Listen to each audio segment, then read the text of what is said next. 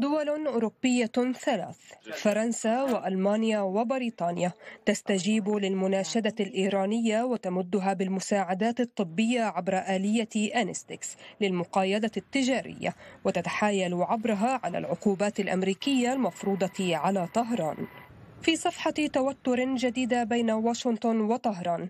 أعلنت الولايات المتحدة تجديد أربعة قيود على البرنامج النووي الإيراني لمدة 60 يوما إضافية حيث وصفت النشاط النووي الإيراني من بين أكبر التهديدات للسلم والأمن الدوليين. إلا أن السلطات الإيرانية انتقدت خطوة البيت الأبيض معتبرة العقوبات المفروضة عليها عقبة أمامها في معالجة مصابي فيروس كورونا والحد من انتشاره.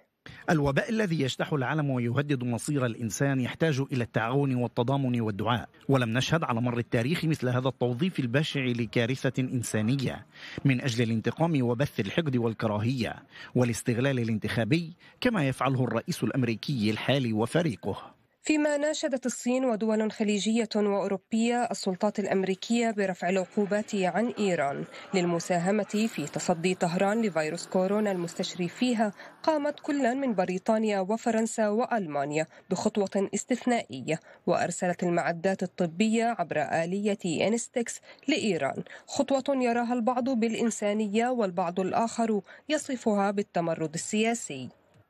هذه الآلية أنشأها الأوروبيون وتعمل على طريقة المقايضة بحيث تسمح للسلطات الإيرانية بمواصلة بيع النفط وفي المقابل تستورد منتجات أخرى متجنبة استخدام الدولار ما يوصف بالالتفاف على العقوبات الأمريكية المفروضة على إيران.